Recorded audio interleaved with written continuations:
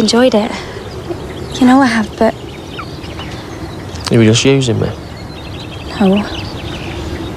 So you did just fancy a bit of the other to work out which was best, eh? You're the first man I ever slept with. You honestly think that?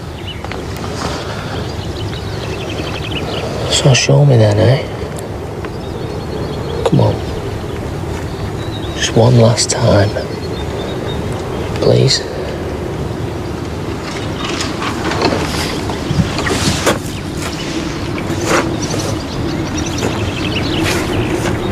What is it? I, I thought it's what you wanted.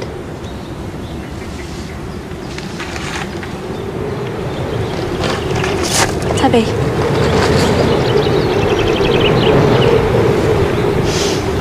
It's not what you think. Is it, Cain? Tell her.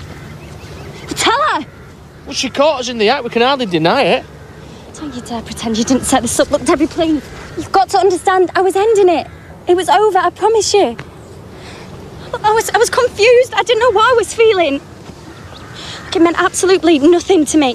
That's not what you said five minutes ago. Shut up, shut up. Look, she probably just wants us to be honest.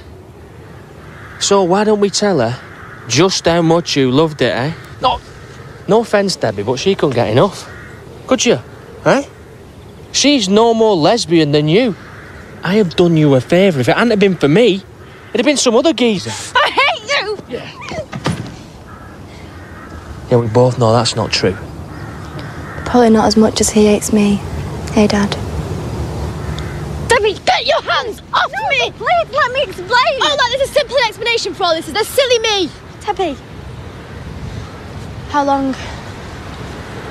How long's it been going on? Long enough. Debbie, I'm so Don't you dare touch me.